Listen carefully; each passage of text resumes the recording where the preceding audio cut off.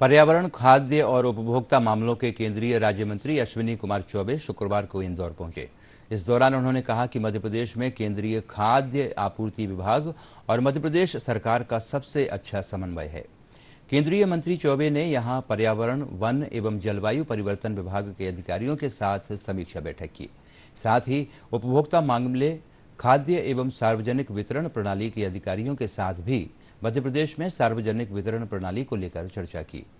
पत्रकारों से चर्चा के दौरान बिहार को विशेष दर्जा दिए जाने पर उन्होंने कहा कि बिहार को शुरू से ही विशेष दर्जा प्राप्त है और प्रधानमंत्री नरेंद्र मोदी ने बिहार के लिए 2015 में एक लाख पैंसठ हज़ार करोड़ रुपए पैकेज के रूप में दिए हैं।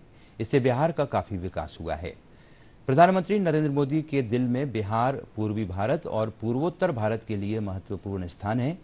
केंद्रीय मंत्री अश्विनी कुमार चौबे ने बताया कि जब तक पूर्वी भारत और पूर्वोत्तर भारत का विकास नहीं होगा तब तक भारत का विकास अधूरा रहेगा। 2015 में जो पैकेज उन्होंने दिया था एक लाख पच्चीस हज़ार करोड़ वो और पैंतालीस हज़ार अलग से करोड़ एक लाख पैंसठ सत्तर हज़ार करोड़ जिसमें सभी ज़मीन पर खड़े उतरा।